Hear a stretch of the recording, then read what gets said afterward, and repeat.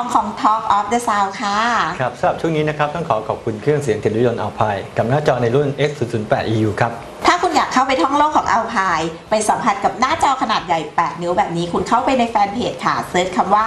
Alpine Society หรือใน YouTube แบบภาพเคลื่อนไหว search คำว่า Alpine Channel จ้ะครับสำห รับช่วงนี้นะครับก็เป็นช่วงที่อาจารย์มาให้ความรู้กับเราอีกแล้วครับ ถูกต้องครั้งที่แล้วเป็นแอปพลิเคชันใช่เช็คอะไรนะคะเช็คเช็ค phase phase ครับ เอาไปใช้กันยัง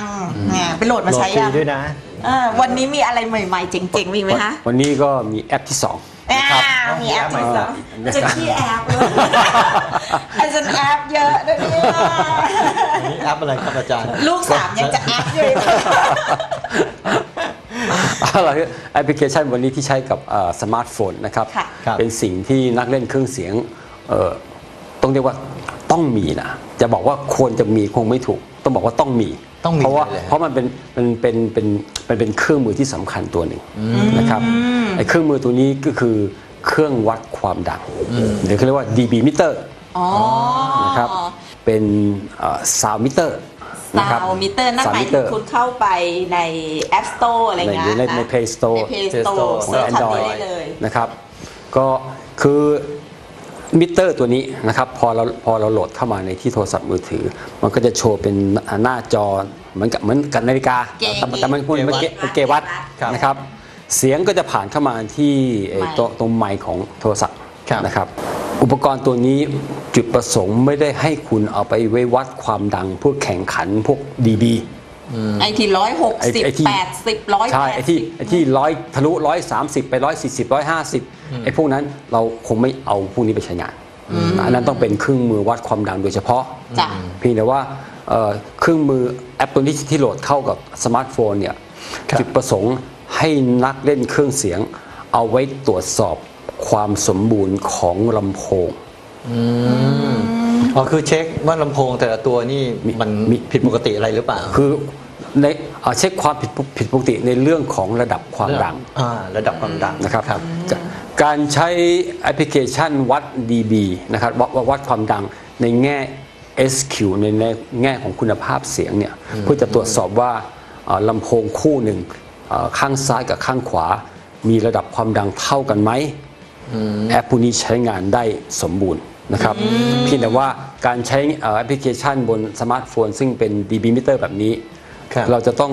มีแผ่นสัญญาณที่เรียกว่า pink noiseอ๋ออ่า pink ที่ที่เราใช้กับ RTA จ้ะอ่านะครับอันนั้นอะคือเป็นเป็นสัญญาณเสียงซ่าๆเนี่ยนะครับ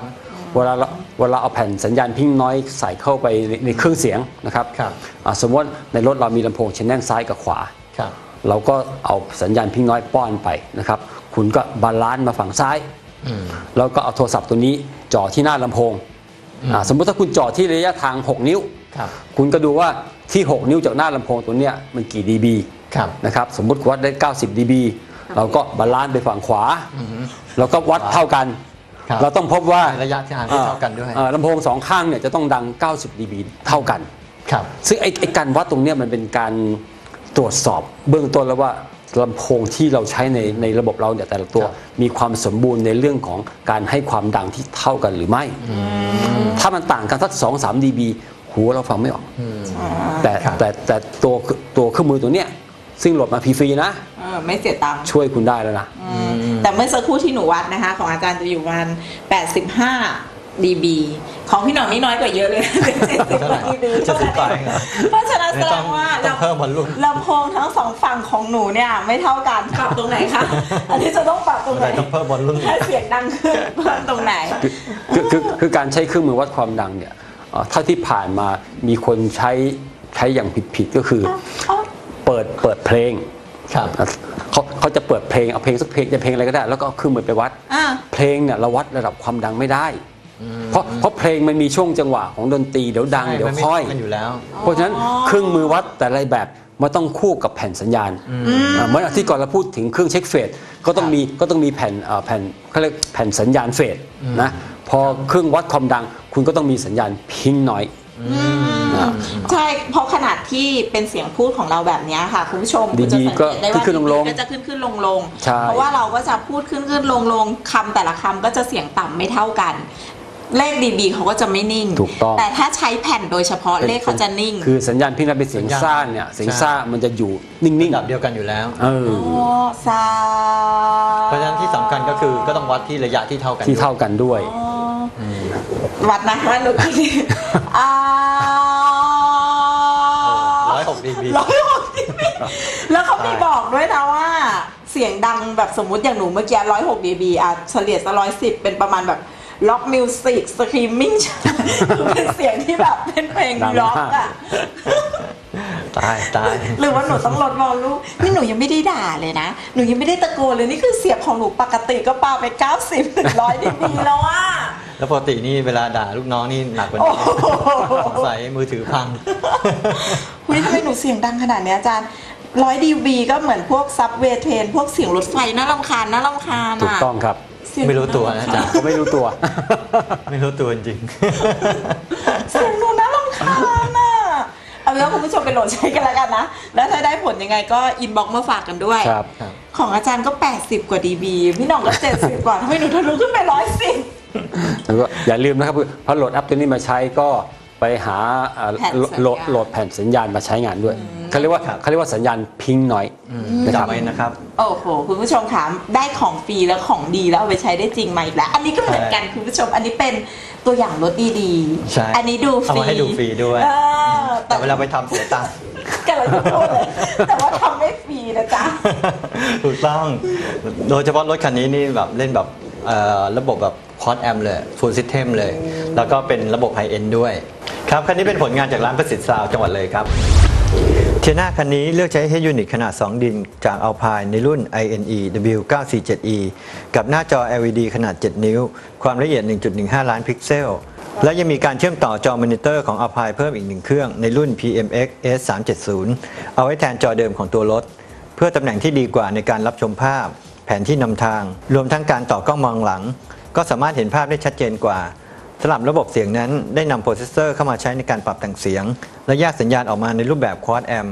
โดยเลือกเป็น Helix DSP Pro พร้อมหน้าจอ control ติดตั้งไว้ใต้จอ Alpine เพื่อความสะดวกในการ control ส่วนสัญญาณเสียงที่ถูกแยกออกเป็น High Mid Low และ Sub นั้น ส่งเข้าสู่ Power Amp ทั้งหมด 4 เครื่อง 3 เครื่องแรกเลือกใช้ Power Amp ระดับ High End สัญชาติอังกฤษ ที่เป็น Handmade ทั้งหมด นั่นก็คือ Audio Wave ในรุ่น Excel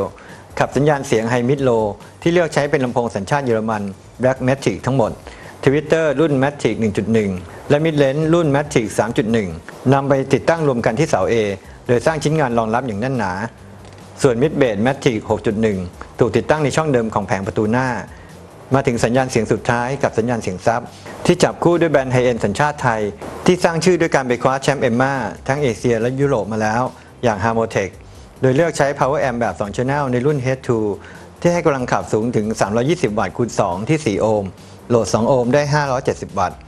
เมื่อนำมา bridge สามารถให้กำลังขับสูงถึง 1,070 วัตต์ที่ 4 โอห์มและ 1,530 วัตต์ที่ 2 โอห์มให้พลังเหลือ ๆ ที่จะนำไปขับซับ w ูเ f อร์ในซีรีส์เดียวกัน รุ่น H